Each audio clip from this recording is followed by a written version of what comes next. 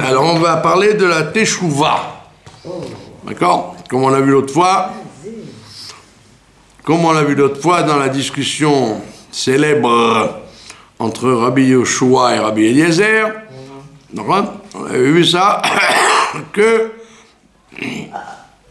le, que Rabbi Yoshua disait pour que le Mashiach vienne, pour que la Géoula vienne, il n'y a pas besoin Dieu n'est pas, n'est pas exigeant, il ne demandera pas la Teshuvah, il suffit de, d'avoir travaillé tout le temps de la galoute sur le travail des birourim, des, birourim, les musiques, les, les habits, les, les- les- les recettes culinaires, les, les langues, tout ce qu'on.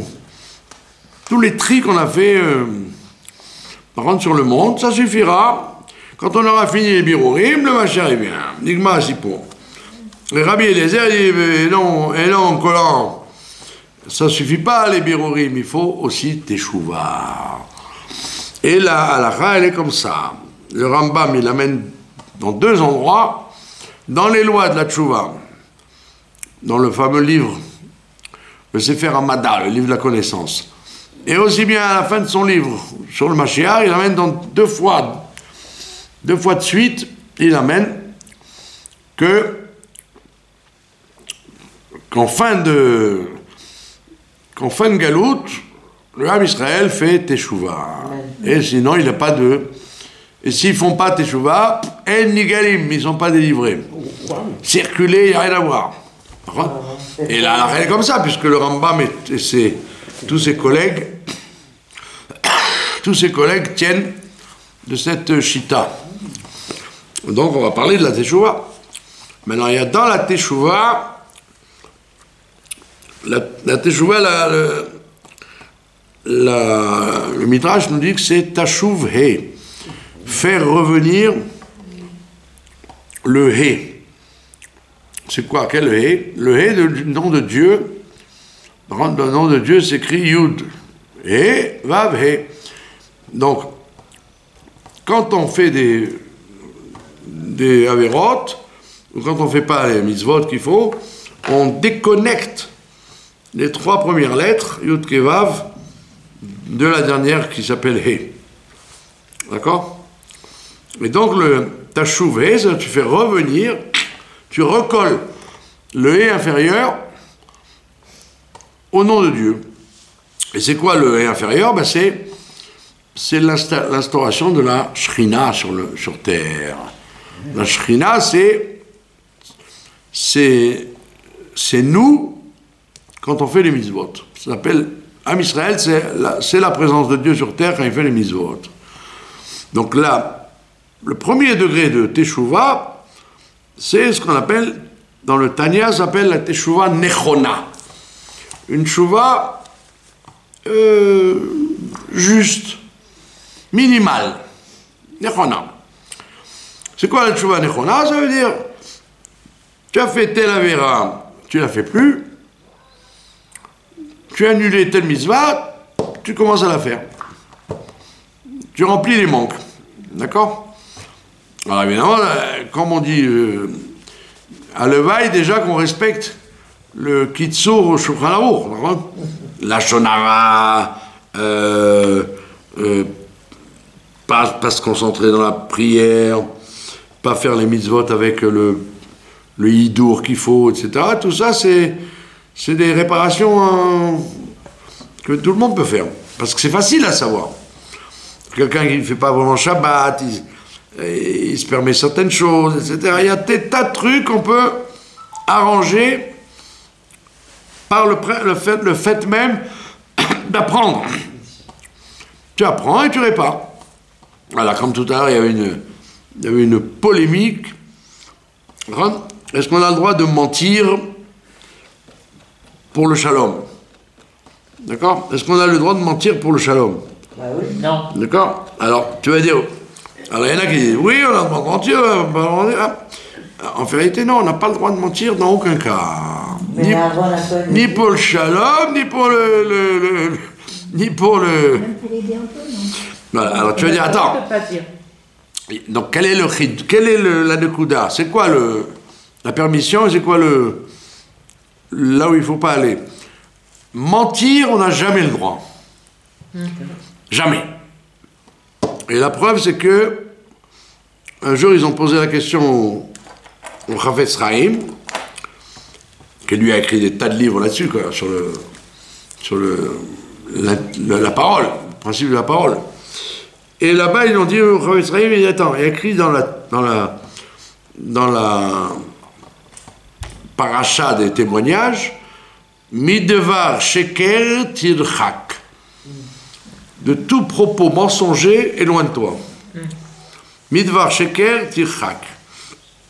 Alors ils ont dit, la Gemara elle dit, euh, de quoi elle parle? On parle dans le au Bet Mishpat. Au- Dans un tribunal, éloigne-toi de tout mensonge. Dans un tribunal. Dans un tribunal. Donc les gens disent, bah, tu vois, Chaim, tu nous prends la tête. Mais il y a écrit le tribunal, pas, pas n'importe quand. Alors il a dit, parce que mentir dans la vie, c'est évident, c'est même pas, la- la- pas besoin que la Torah te le dise. C'est évident qu'on n'a pas le droit de mentir. Parce que si tu mens, tu inscris en toi une qualité tordue. Tu tords, ton esprit. Alors, alors pourquoi il a écrit pour le tribunal? Parce qu'au tribunal, tu aurais pu dire bah, je vais mentir pour défendre. Par exemple, je sais qu'il a raison, je sais qu'il n'a pas volé, je sais qu'il n'a pas tué, je sais qu'il a. Eh ben, je je vais mentir. Je vais dire euh, je le connais très bien, il n'a jamais fait du mal à une mouche. Alors que c'est pas vrai, tu le connais pas, il a, il a fait du mal à une mouche. Et tu mens parce que tu veux le défendre. Les avocats. Donc la Torah te dit, même ça, tu n'as pas le droit. Pour, pour le bien. Tout ça. Et il dit, dans la vie, c'est pas shoot que non. Midvar sheker tichak. C'est dans tous les cas de figure, il faut jamais mentir. Ah, alors vous aurez dit, comment il faisait Aaron à Cohen On a dit, les gens ils disent pour le shlam baïd, pour le, la ch- le shalom entre, les, entre deux femmes, ou entre deux hommes, ou entre un homme et une femme, on a le droit de mentir. On dit non, il n'y a pas écrit dans la Gemara, on a le droit de mentir, on a le droit de changer, de chanotte. Faire un chinouille, faire un petit chinouille, une petite différence. Mais pas mentir. À savoir, alors voilà, Cohen, il rencontre Réhouven, il lui dit, tu sais, Shimon, j'ai parlé avec Shimon ce matin, vraiment, il a de la peine de, t'avoir vexé. Ah oui, ah oui, il regrette et tout. Dès qu'il te voit, il va t'embrasser. Ah bon, ah, oh, ben, c'est formidable. Et et en vérité, Shimon, il n'a jamais, rien dit. Alors comment il peut raconter ça à Rowan Cohen Il dit, parce qu'en fait, un juif n'étant pas capable profondément d'avoir de la haine contre un autre, c'est évident qu'à l'intérieur de lui, il, veut, il veut la paix. Et donc, Aaron, il changeait la, il changeait la, réalité en, parlant de la réalité profonde. Dans la réalité journalière, c'est pas vrai, l'autre ne s'est jamais, n'a jamais regretté ce qu'il a fait, mais profondément, il le regrette. Et donc, Aaron parlait du profond. Donc, on a le droit de les chanotes, avalo le shaker. C'est-à-dire d'arriver à une situation comme il a fait euh, Yaakov Avinu quand son père le, le bénit. Il dit Tu es Esav? Il dit Oui, je suis. Il n'a pas dit Je suis Esav. Et oui, je suis, ça veut dire Toi, tu comprends, je suis Esav, mais moi, je n'ai pas dit Je suis Esav. Il n'a pas menti, il a changé. Il a fait un, un changement. Donc, même si l'autre comprend De travers. quelque chose de travers, tu l'as fait comprendre ce que tu as voulu, mais tu n'as pas menti, tu n'as pas sorti de ta bouche une- un mensonge. Comme je donne toujours l'exemple, vous êtes dans une pièce. Quelqu'un téléphone, il me dit Allô, je peux parler à Sarah? Alors vous êtes là. Je peux parler à Mazal? Alors je dis, euh, alors vous me faites Vous voulez me dire que vous n'avez pas, envie de parler maintenant, vous ne voulez pas parler. Donc, euh, alors qu'est-ce que fait Mazal? Elle change de pièce. Et je dis, ah non, Mazal n'est pas là. Ah bon, elle n'est pas là, ben, je rappellerai. Et vous n'avez pas menti, elle n'est pas là, elle a changé de pièce. Lui, il a compris, elle n'est pas là du tout. Je n'ai pas menti, et pour ne pas mentir, j'ai dit à Mazal, s'il vous plaît, sortez comme ça, ça m'évite de mentir. Donc, il y avait toute une polémique là-dessus, et en fait, la conclusion, c'est que non, il faut jamais mentir, même si c'est euh, dur à, faire. Comme le fameux Rav, il rentrait chez lui, euh, il y a une des torrent de pluie, et sa femme lui dit, il pleut, il pleut, il dit, quand j'étais dehors, il pleuvait. Parce que peut-être que dans le que je suis dans l'escalier, il s'est arrêté de pleuvoir. Pour pas mentir, il disait, quand j'étais dehors, il pleuvait. Donc ça veut dire qu'il y a des tas de trucs, de tas de mitzvot, aussi bien des mitzvot techniques, des mitzvot morales, des mitzvot euh, de, changement de caractère et tout, qu'on doit réparer ça s'appelle, ça s'appelle Teshuva Nechona. Et donc, ça veut dire qu'on a du travail là-dessus à faire. Par contre, c'est pas. Personne ne peut dire je suis, je suis parfait dans la Teshuva Nechona. D'accord? Tu peux toujours euh, te rendre compte que tu as du mal à pas dire la shonara, tu as du mal à. Si par exemple quelqu'un quelqu'un a fait un gâteau, d'accord? Et la personne, elle, veut absolument des compliments.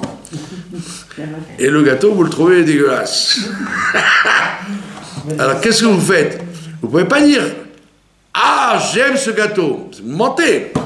Vous dites Ah, c'est bon. Tu as menti? Non, tu n'as pas menti parce que vous, vous ne le trouvez pas bon et peut-être quelqu'un le trouve bon. Dire que quelque chose est bon, c'est pas mentir. Il est très bien, c'est pas mentir. Et voilà, mais si je dis moi je l'aime, mais tu mens, tu, as dit que c'est pas bon. Donc toi, tu n'as pas le droit de dire j'aime ce gâteau, parce que c'est faux.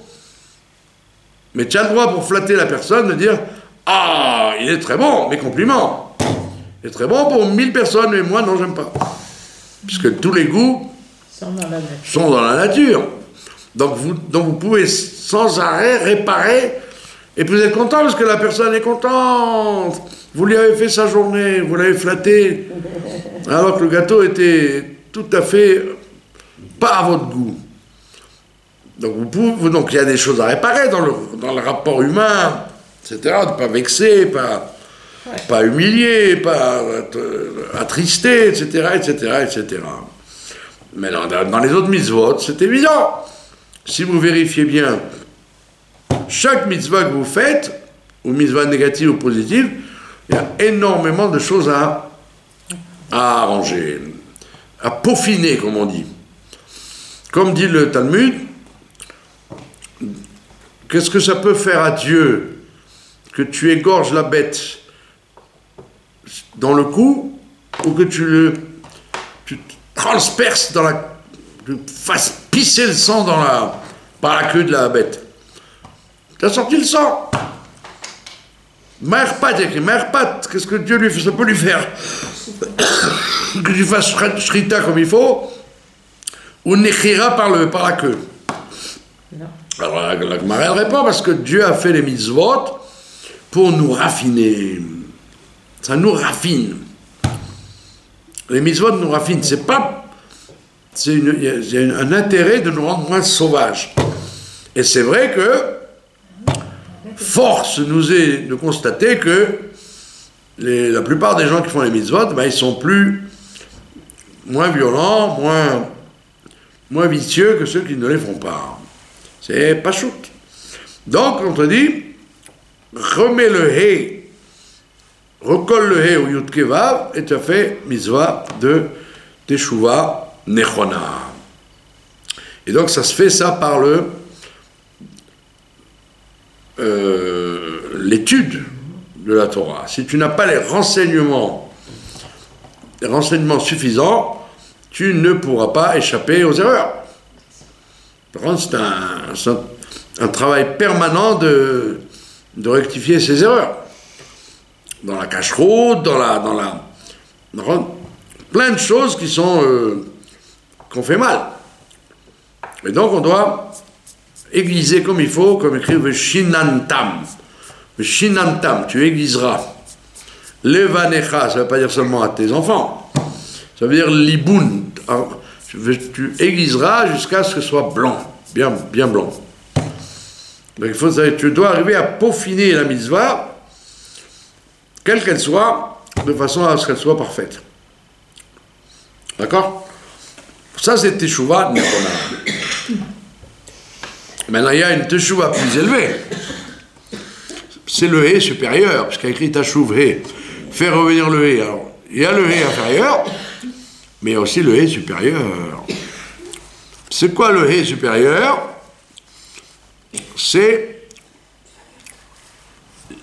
faire les mitzvot, faire le judaïsme par amour. Tu fais les choses parce que tu aimes Dieu. Aimer Dieu. Rentre pas de la tarte. Parce que les, les êtres humains en général, ils font les choses par peur de faire mal. Ou peur de faire mal, ou peur de, de, de se. eux-mêmes, de se, se- faire punir. Ren- Prenez n'importe qui dans la, sur la route, s'il n'y a pas de policier ou de, ou de caméra, ben, il roule comme un fou. Donc les gens n'ont pas peur de, désobéir au code de la route. Ils ont peur de se faire attraper par la police. Tenez, Mazal, c'est bon pour vous, ça. Hop C'est du peppermint. Il n'y a pas de sucre, hein. C'est sans sucre. C'est le Rav Westheim qui est mort, le pauvre, au Corona, qui, qui surveillait ça. Il, il goûte à Rabbanim de Manchester. Mais donc l'énormité des êtres humains obéissent. Prenez, prenez, prenez ça. J'ai du stock. L'énormité des êtres humains évite de faire les mauvaises choses parce qu'ils ont peur de la punition. D'accord? Mais dans la Torah, elle te dit, ah, ça c'est ça c'est un premier stade. Tshuva Nechona. Mais a un stade plus élevé, plus, plus raffiné, c'est de faire les choses par amour. Ça s'appelle Teshuva Be'ava. Teshuva par amour. Ça veut dire que tu fais les choses parce que tu as un plaisir à les faire. Parce que c'est ta vie. C'est ta vie. Il y a écrit dans, la, dans les livres de Kabbalah que il y a Adam Atarton, l'homme inférieur et l'homme supérieur. Qui c'est l'homme inférieur? C'est l'individu qui fait la Torah et les mitzvot, mais qui se force. Benoni. Hein, pardon? Un Benoni. Ouais, un style de Mélanie, mais toute son, son approche de la Torah et des mitzvot, c'est une approche superficielle. C'est pas lui. Il a lu, il faut mettre les téphilines, bon alors il met les téphilines. Il a dit, il faut allumer les bougies Shabbat, ah, j'allume les bougies Shabbat. Et C'est un exécutant, d'accord, on appelle ça Adam Atarton, l'homme d'en bas, parce qu'en vérité, la Torah et lui sont deux choses séparées. Et que Dieu préserve s'il y a un, un bug, il y a une crise quelque part, il peut arrêter tout. Ou arrêter telle et telle chose. Il peut, il peut s'arrêter de faire une mitzvah. Mais pourquoi tu arrêtes Ah, j'ai plus envie, ça m'énerve. Je croyais que ça allait me porter bonheur, euh, ça me sert à rien, euh, laisse-moi tranquille. D'accord? Et donc, ça veut dire que dans son état, à cet euh, individu, il n'a pas fait la Torah et les mitzvot comme quelque chose de, de l'air qu'on respire. Je le fais parce que j'ai pas le c'est ma vie. Non, je le fais parce que j'ai peur de Dieu, ou j'ai peur de la punition, ou j'ai pris des bonnes habitudes, ou je suis superstitieux Et je pense que ça va me porter bonheur. Comme les, les, les, les gens, le jour du bac, qui mettaient des filines. euh, le jour où ils passaient le bac- baccalauréat, ils allaient mettre des filines pour, pour se mettre bien avec le bon Dieu. D'accord? Vous riez, mais c'est c'est- c'est vrai, il y a des, des tas de gens qui font une. Des- va passer le permis de conduire aussi. qui font des mitzvot pour, euh, pour se mettre bien dans les petits papiers du bon Dieu. Ouais. Donc ça, bravo, mais ça s'appelle l'homme d'en bas. C'est-à-dire c'est pas c'est pas inscrit dans son caractère, dans, ce- dans ses gènes, le, la Torah et les mitzvot.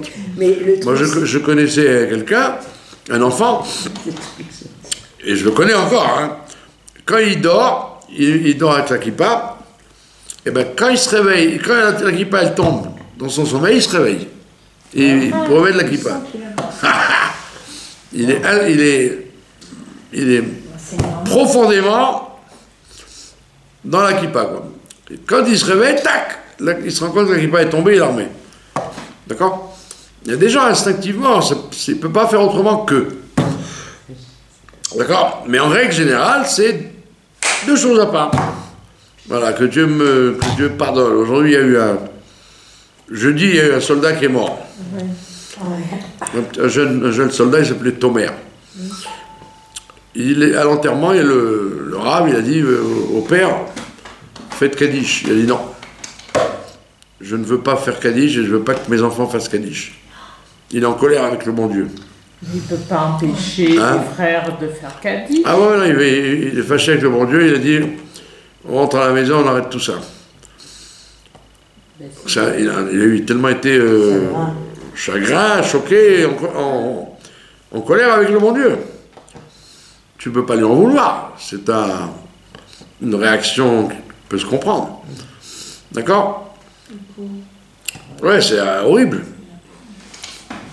En plus, peut-être que dans ces genres de famille, le gosse, il aurait pu être dans l'armée, euh, faire un, un- être un jobnik. Dans un bureau, euh, pff, pas se casser la tête, et le gosse, il a voulu être un, combattant. un combattant, un parachutiste, et voilà. Et Donc des fois, les parents, ils, ils disent aux enfants, ne fais pas ça, et les enfants, ils n'écoutent pas. Alors, les- les- il y a des milieux où c'est, ils sont flattés que leurs- les enfants meurent. Parce que euh, ils sont morts euh, dans, le- dans le service, quoi. Mais il y en a d'autres, ils n'acceptent pas. Alors, ça veut dire quoi? C'est un cas où, effectivement, tu vois bien que la personne et la Torah sont déconnectés. Dès qu'il y a un truc qui, qui choque, ben, ils arrêtent. C'est. C'est pas pachoute du tout, du tout. On ne peut pas juger parce que ça peut arriver à n'importe qui d'avoir un, d'avoir une, un choc. Quelqu'un qui est en deuil, on ne peut pas le juger. Voilà. Moi, j'ai connu des, j'ai connu des gens qui ont été ruinés. Ils ont tout perdu. Ils étaient même au stade de même pas avoir de quoi avoir faire euh, Shabbat. Et ben, ils, ils disaient, je fais pas Shabbat. C'était plus leur. euh, Donc ces gens-là, en fait, ils démontrent que la Torah et eux ne sont pas un. Puisque dès qu'il y a, une situation où la Torah se déconnecte. Hein? Dans un, il peut y avoir un. Moi, je connaissais quelqu'un, il est en voyage. En voyage, il mangeait pas cachère, par exemple. S'il pouvait manger cachère à la maison facilement, d'accord Sinon, il mangeait ce qu'on lui donnait. Mais ça, Ça veut dire que c'est pas vraiment une. La personne n'a pas vraiment pris sur lui le, la mitzvah. Donc c'est ce qu'on appelle Adam à Tarton. Maintenant, il y a ce qu'on appelle Adam à Elion. Adam à Elion, c'est comme mon cher Rabbeinu, c'est le fait que la Torah et les mitzvot, c'est la personne elle-même. C'est-à-dire, quelle que soit la situation, comme elle dit la Chassidoute, c'est gravé. La Torah et les mitzvot sont gravés en lui. C'est pas quelque chose qui se superpose comme une, une écriture qu'on peut effacer. C'est gravé en lui, ça veut dire que quelle que soit la situation dans laquelle il se trouve, il continuera à étudier la Torah, il continuera à pratiquer les mitzvot. Ça veut dire il dévoile que la Torah, c'est lui. Et lui, c'est la Torah. Et ça, c'est pas. C'est pas. Ça court pas les rues, comme on dit. ça court pas les rues. Et apparemment, c'est ça qu'on demande aux gens. De faire une tchouva supérieure. De ne pas se contenter d'une teshuva nechona, mais d'arriver à une teshuva supérieure. Alors évidemment, c'est comme le, monde est une pyramide. À l'instant, par exemple, où à cause du Simchat Torah, 7 octobre, il y a des tas de gens qui vont commencer à faire la teshuva nechona, eh ben on demande à ceux qui sont déjà dans la teshuva nechona de passer à la teshuva il a une pyramide, ça veut dire il ne faut pas juger le Ham Israël de façon euh, équivalente. Chacun doit être euh, jugé et, doit mettre la barre à son niveau, à lui. Et la barre d'un ben, ancien gauchiste qui s'est réveillé le 7 octobre, elle est moins haute que la barre de quelqu'un qui depuis des années pratique le judaïsme et à qui on dit mais tu sais quoi, il faut maintenant travailler par amour, pas, pas simplement par, euh, par habitude et par crainte. Oui, mais par exemple, les baliers de chouva, vraiment les chouva, on ne parle de rien, d'accord? Au début, on fait chouva vraiment par amour, d'accord? On est content, les mitzvot, on est super content et tout. Voilà. Après, avec le temps, au bout de 10 ans, 20 ans, 30 ans, on est un peu moins chaud des fois. Exactement. Alors, euh, donc, deuxième siècle. Oui, alors, Alors, euh, alors, comment- tout ça s'explique- euh, tout ça s'explique- On ne demande pas mieux que de revenir au Ouais. niveau de la tchouva. euh, Voilà, tout ça s'explique dans la, dans la Oui, chassidoute. toi, non, mais toi aussi, vachement contente au début, tu dis, ouais, super. Et puis, euh, La chassidoute explique le, la sortie d'Égypte, c'était une sortie par amour. Donc, il a écrit Bamidbar, on va dire ça avant les, les- les sonneries du chauffard.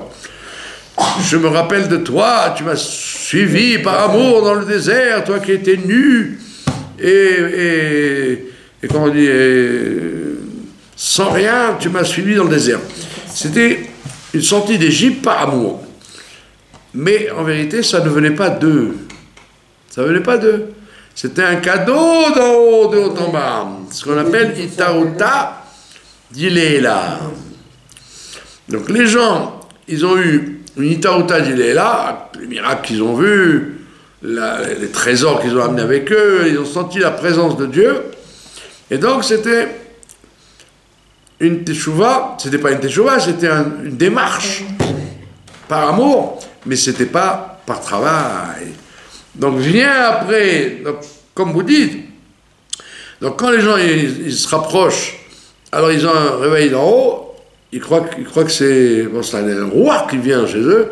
Ah, ils sont contents, ils sont enflammés, etc., etc. Mais on dit ça, hé, oh, coco, ça c'est la premier, première, première étape. Mais après, Dieu ferme le robinet. Et dit maintenant, à toi de travailler, cher ami. À toi de faire tes preuves. Et donc, c'est là que commence le travail. Comme le rabbi dit, il a écrit Kol atralot kashot. C'est écrit Kol atralot kashot. Rachid ramène ça. Tous les débuts sont difficiles. Il dit tant que c'est pas difficile, c'est pas le début. Vous avez compris?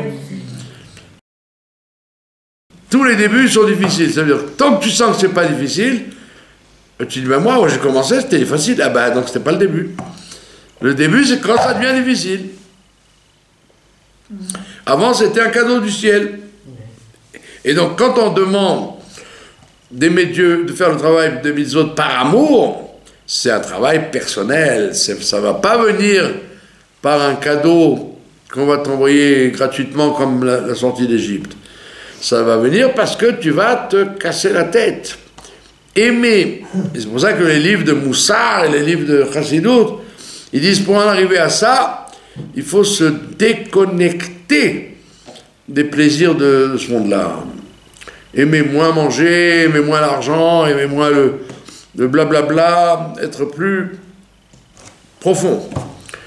Quand tu es plus profond, ben automatiquement, l'âme divine elle reprend son, ses lettres de noblesse, elle est plus heureuse, et donc elle, elle fait taire l'âme animale, et alors elle arrive à la- ce qu'on appelle le service de Dieu par amour. Et ça, c'est pas euh, impossible à trouver. Ça doit être, c'est la, la vocation de chacun. Et c'est pour ça que, qu'est-ce qui se passe? Il y avait une histoire que je vous ai racontée de mille, de mille fois. Il y avait le, le rabbi de Satmar. Euh, Quelqu'un a venu le voir, il a dit euh, il y a, un nommé Weiss qui est diamantaire et il me propose de faire une affaire avec lui. Ah oui? Alors, euh, alors Satmar euh, lui dit non, ne fais pas d'affaire avec lui. Éloigne-toi. Il apprend quelques jours après que le Weiss s'écroule. Ruiné, diamantaire, ruiné, etc. Alors le, gars, il revient au Rabbi Satmar, il dit Rabbi, mais tu es un prophète Comment tu as su qu'il fallait pas faire. Il m'a dit tout simplement, j'étais au mikvé. Il était à côté de moi, il remettait ses chaussettes, et en remettant ses chaussettes, il disait Ah, il faut que ma chère vienne. Ah, il faut que ma chère vienne. Il dit si lui, qui est un milliardaire, un diamantaire, il a besoin que ma chère vienne, c'est que ça va pas du tout les affaires. Donc j'ai de- j'ai deviné qu'il était en mauvaise posture financière, et donc j'ai compris que tu tu devais sûrement pas faire des affaires avec lui. Donc quelle était la, morale de l'histoire? C'est que les gens, ils ont toujours voulu la Géoula quand ça allait mal. Quand il était bien, quand tout allait bien, qu'est-ce ont besoin de Géoula Laisse-moi tranquille. J'ai de l'argent dans mon compte, J'ai le frigidaire plein, j'ai une voiture, j'ai tout ce qu'il faut, laisse-moi tranquille, qu'est-ce que tu vas me, me troubler avec tes histoires de machia Pitom, là, la- donc l'histoire faisait que, à chaque fois que les gens voulaient machia, c'est parce qu'il y avait l'antisémitisme, il y avait des problèmes, il y avait des, des- pogroms, il y avait des, des, des- des mi- des misères financières, etc. Pitom, récemment, vient une période où il n'y a plus de, il y a plus de problème. Plus de problème. Donc, donc les gens vont dire, bah, si j'ai pas de problème, j'ai pas besoin de machia. Donc tu dois arriver à la, au stade où tu dois vouloir les bonnes choses du Ham Israël, les mitzvot, la Torah, la Géoula, le Mashiach, pas parce que il y a une pression à droite ou à gauche, mais c'est parce que c'est tu aimes Dieu, c'est par amour de Dieu. Tu veux la Géoula par amour de Dieu, pour qu'il y ait un Beth Amikdash, pour qu'il y ait, pour qu'il y ait la disparition du mal sur terre, etc., etc. Pas pour tes problèmes euh, personnels. Toi, tu n'as pas de problème personnel. Tu as de quoi manger, tu as une maison, tu as, tu as de quoi t'habiller, tu es en bonne santé, alors quoi Pardon? Pas au Donc tu vas dire, donc qu'est-ce que j'ai besoin de me casser la tête avec un, nou- un nouvel, un nouveau monde, un nou- un nouvel horizon de Mashiach Et il dit, mais Coco, mais c'est ça la, la raison d'être sur Terre, c'est de servir Dieu, faire les mitzvot avec le Mashiach, pas, pas en galoute. Donc il y a un sujet de... Dieu nous a invités depuis quelques années à faire Teshuvah, il a à faire les choses, pas parce que si on ne les fait pas, ça va tourner mal, mais parce qu'on aime Dieu et que c'est notre, c'est notre moi. Je ne mets pas les tefilines parce que je, vais, je veux avoir une bonne note au, au baccalauréat. Je mets les tefilines parce que j'ai besoin d'acquérir un cerveau dans ma tête, un cœur de chair. J'allume les bougies de Shabbat pas parce que euh, j'ai peur euh, la semaine, mais parce que je veux qu'il y ait de la lumière dans le monde, etc., etc., etc. Donc c'est un sujet de Teshuvah là. Et tant qu'on n'est pas arrivé, et donc il faut faire ça progressivement, bien évidemment. Tant qu'on n'est pas arrivé à Teshuvah là, le hé d'en haut n'est pas remis à sa place non plus. Et, comme par hasard, si vous avez fait attention, il y a écrit à propos d'Amalek, Il y a écrit que le siège de Dieu ne sera pas complet tant qu'il y aura Amalek. Et que c'est écrit Qu'est-ce ya Le siège de Yudke. Donc le Yudke, le Yudhe supérieur, c'est ce qu'Amalek veut détruire. Il veut enlever, il veut déconnecter le Ham Israël hein, de son attachement à Dieu. Donc il amène des doutes, il amène des, malheurs, il amène des bombes, il amène des. hein, il, il lui casse les pieds pour le déstabiliser. Et donc on a. Donc encore une fois, donc quand tu détruis Amalek, tu remets, tu reconnectes le Yud He d'en haut avec le Vav He. Donc c'est un sujet encore de Teshuvah là. C'est lié l'un avec l'autre. C'est pour ça que tout ce qu'on a- tout ce qu'on qu'on voit en ce moment, c'est le la guerre, les guerres contre Amalek. Parce que tous les, les gens qui nous veulent du mal, ils ne nous veulent pas du mal pour un territoire ou pour un ou parce qu'on leur a pris de l'argent ou parce qu'on on a pris des prix Nobel. Non, ils veulent nous tuer pour nous tuer. Donc c'est Amalek dans, dans son dans son expression la plus évidente. Et donc comment ré- répondre aux attaques d'Amalek Par le travail de, de Shuvah supérieur et inférieur, dans les deux cas. Et, et comment? Eh ben, Par le, le fait de rajouter dans le, le chesed, faire du bien. Faire du bien autour de soi, à- aux gens qu'on connaît, aux gens qu'on ne connaît pas. Aux gens qu'on aime et aux gens qu'on n'aime pas. Parce, que, parce que faire du bien aux gens qu'on aime, c'est pas une grande, une grande, euh, un grand, une grande chorma. La, la force, c'est de dire de- d'être, d'être bon même avec les gens qu'on n'aime pas. Hein, Avec lesquels on n'a pas, comme on dit, de- d'atomes, d'atomes crochus. D'accord? Donc tout ça, c'est le sujet de la de Teshuvah. Donc chacun, doit, ne, chacun ne doit pas se comparer aux autres. Il faut pas dire, moi, oh là, je vois tous ces, tous ces gens du 7 octobre, ils ont commencé à faire Shabbat, ils ont commencé, mais moi, je suis déjà loin de tout ça. Moi, je n'ai, pas une... J'ai pas de problème. Moi, il y, a un Irgun qui s'appelle le Shamerou. Pour 770 shekels, c'est beaucoup. Ils offrent une plaque de Shabbat, des, des, des, des comment on dit ça, des Bougeoirs. des bougeoirs, euh, une, une minuterie. euh, mais j'ai pas compris. Pourquoi il y a besoin Le gars, il veut faire, il veut faire Shabbat. Il peut pas se débrouiller tout seul. Il faut que moi, je subventionne son, son retour au Shabbat. Et ça marche, les gens, les, les, les gens ils donnent. Mais Ça veut dire, la, personne, elle, allô, je vais faire Shabbat, allez, je t'envoie ce qu'il faut. Attends, pourquoi moi, quand j'ai dû faire Shabbat, j'ai dû m'acheter une plata, j'ai dû m'acheter une minuterie, j'ai dû m'acheter des bourgeois Pourquoi il faut que j'entretienne le. Pourquoi mâcher le travail aux gens à ce point-là? C'est scandaleux. Et puis, c'est. Oui, en plus, tu, tu vends ça 770 shekels. C'est encore un qui a dû faire ça. Bon C'est honteux. Tu, tu me. Soi-disant, il est, il est abruti, le, le bonhomme, il ne sait pas acheter une, Une une plaque, et euh, à Tel Aviv, ils vendent des plaques. D'accord? Donc, il ne faut pas se comparer avec tous les gens qui, qui, rentrent- qui débarquent.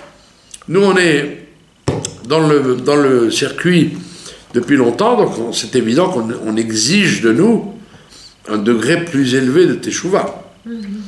Donc tu ne peux pas dire Oh, mais si je regarde le, monde tel qu'il est, ah ben je suis bien, hein, moi je suis très très très proche de Dieu. Tu vois, j'étudie la Torah, je fais les Télim, je, je fais le tfilot, je fais les mitzvot. Oui, d'accord, mais tes là, tu as commencé à faire.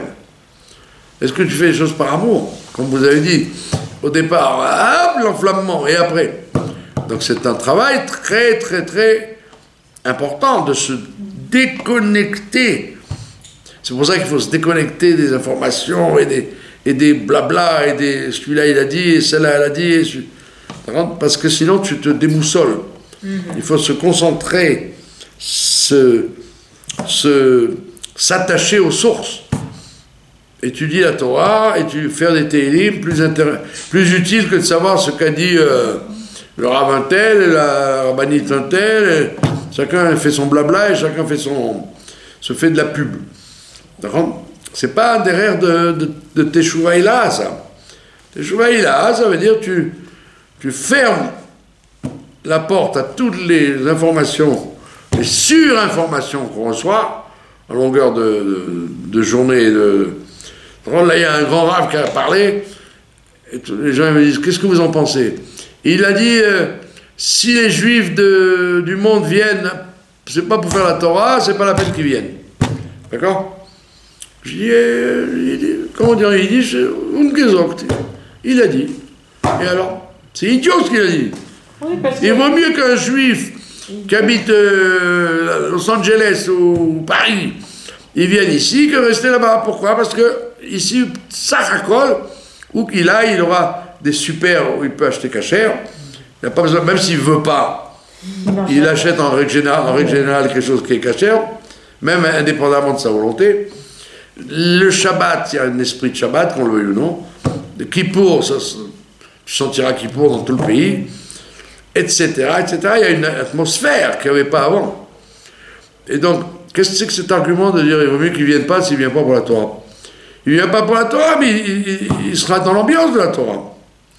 Il aura son voisin, sa voisine qui va, qui va lui dire tiens, euh, voilà des chalotes, il y aura une atmosphère.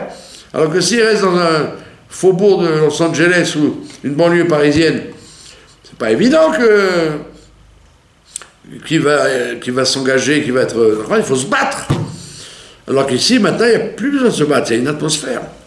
c'est beaucoup plus facile. C'est beaucoup plus facile. Ben, voilà, il y a, la- il y a le, le climat euh, général. Même s'il y a une opposition de- des gens qui manifestent, mais l'esprit n'est plus là. Même euh, Netanyahou, il dit Bezrat Hashem, on va gagner la guerre. Ce que j'aimerais bien entendre dire de Macron. Calvin qui gagne la guerre contre son, Il- contre son Donc, Bekitso, il y a une. Il y a une c'est pas parce que des gens parlent, et c'est un rave connu, hein, je ne vais pas dire son nom. Il a parlé, alors, qu'est-ce que ça- fait de l'entendre Tu as gagné quelque chose Ça t'a déstabilisé Tu dis, ah oui, comme c'est un grand rave, peut-être faut réfléchir. Peut-être qu'il a raison, qu'il vaut mieux qu'il ne vienne pas. Non Il a tort parce que, aujourd'hui, je vous ai raconté cette histoire. Les, gens ils disent le rabbi n'a jamais soutenu la Aliyah. Il y avait le patron des juifs de Boukhari. Il, il habite à New York. Alors il passe devant le rabbi, il a, le costume qu'il a, vous pouvez vivre deux ans avec, je crois. Un costume hyper euh, de luxe avec des cravates. On voit que c'est un homme très bien, très bien installé.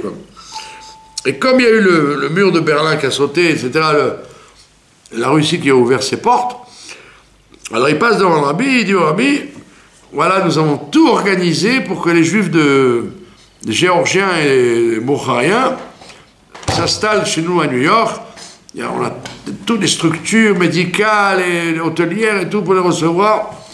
Tout est en piste, on voudrait une bracha. Le rabbi nous donne une bracha. Et le rabbi, il le fait comme ça, il s'appuie avec son, son bras. Il dit Quoi?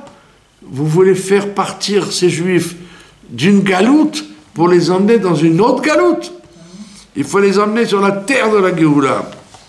Et le mec, il devient blanc, parce qu'il avait investi des, il avait investi des millions, des millions pour que les, les juifs s'installent à, à New York. Puis Tom, le rabbi, dit Pas question qu'ils aillent, il faut qu'ils aillent sur la terre de la Géoula. Pour ça, vous avez beaucoup de Géorgiens, de Grosines, de Oui. Boukhariens, etc. Parce que le rabbi sait très bien que maintenant le monde a. Israël a changé, le travail a changé. À l'époque, quand les gens ils arrivent dans les kibbutzim, ils ne savaient pas s'ils ils allaient avoir du cochon ou du, lapin. Il y, avait, il y avait un danger très fort à, venir en Israël. Parce que l'atmosphère n'était pas là. Mais maintenant, même les plus récalcitrants, ils, ils font attention à la cache-route, ils, ils, ils ils respectent.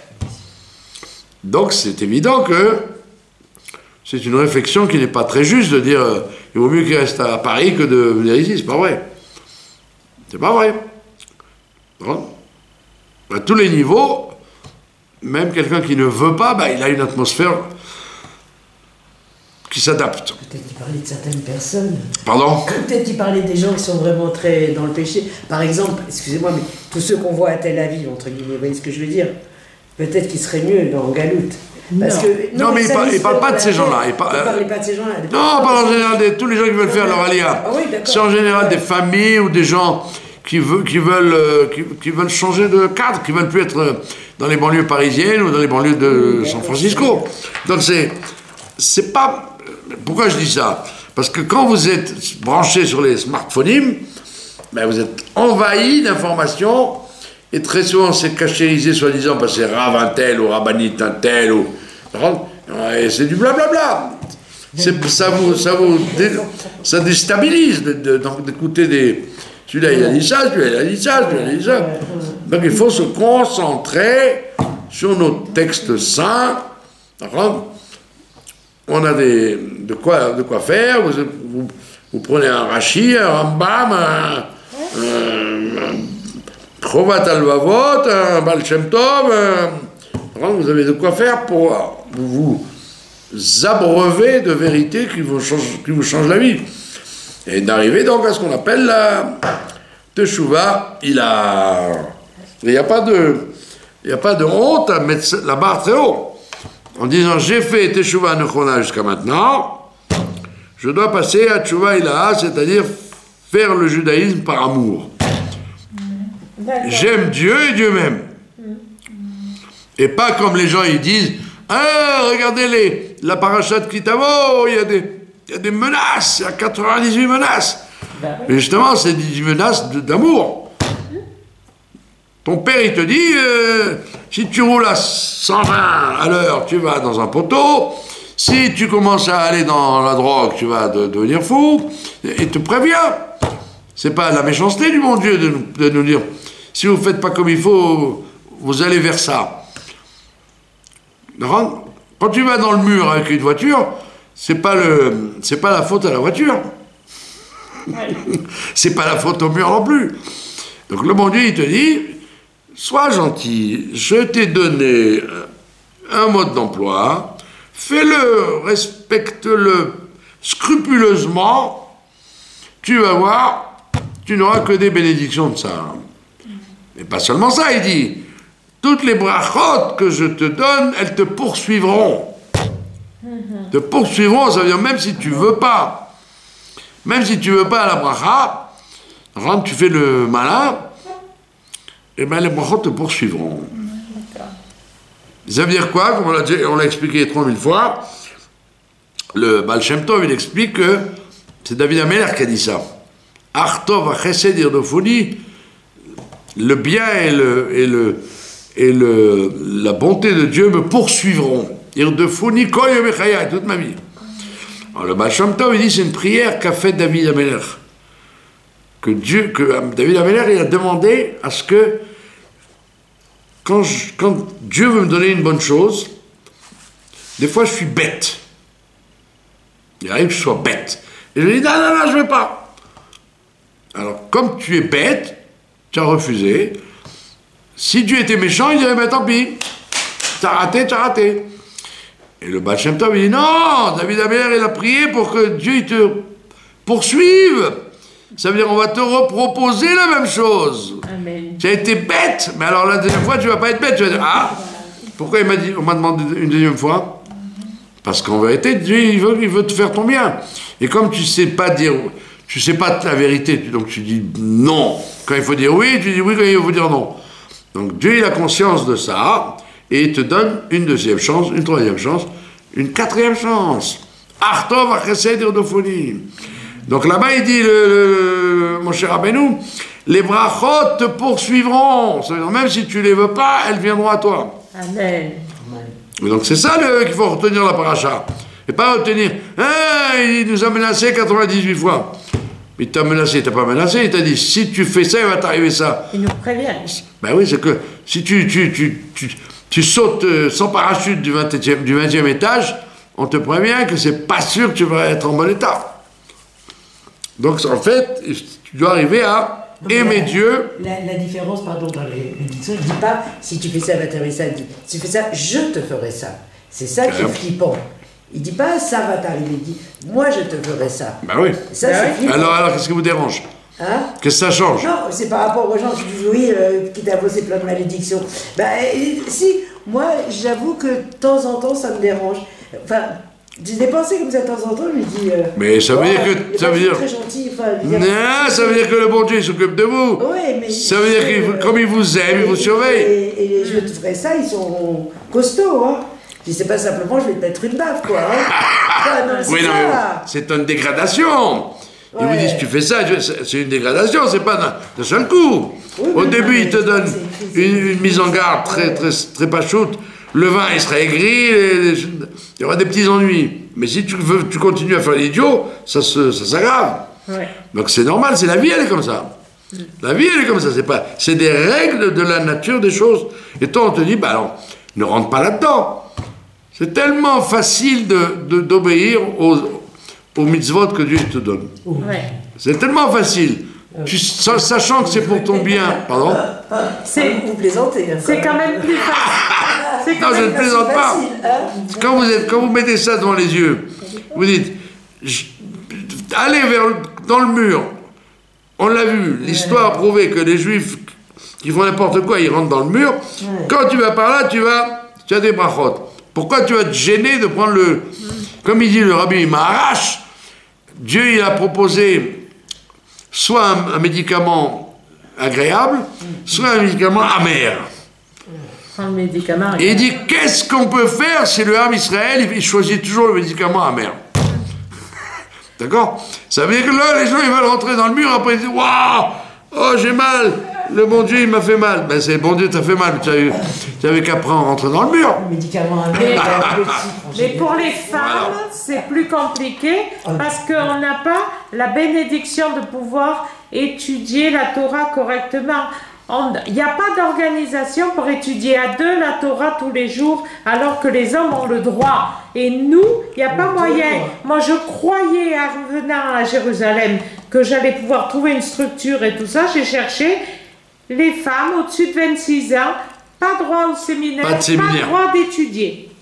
Ça c'est vous qui dites. Et puis il y a des tas de cours de. Je n'ai pas trouvé. Parce que vous n'avez pas bien En cherché. français, tu veux dire. Ah, En ah, français. vous le cherchez en français, vous voulez dire Ah, je ne sais pas. Bon, en tous les cas, vous avez compris le, le clalout, l'ensemble des, de, de la problématique. Il faut arriver à faire teshuva supérieure et ne pas se contenter d'une teshuva euh, euh, nechona, bien qu'elle soit cachère. Il faut devenir des champions, des winners. Très Voilà. bien.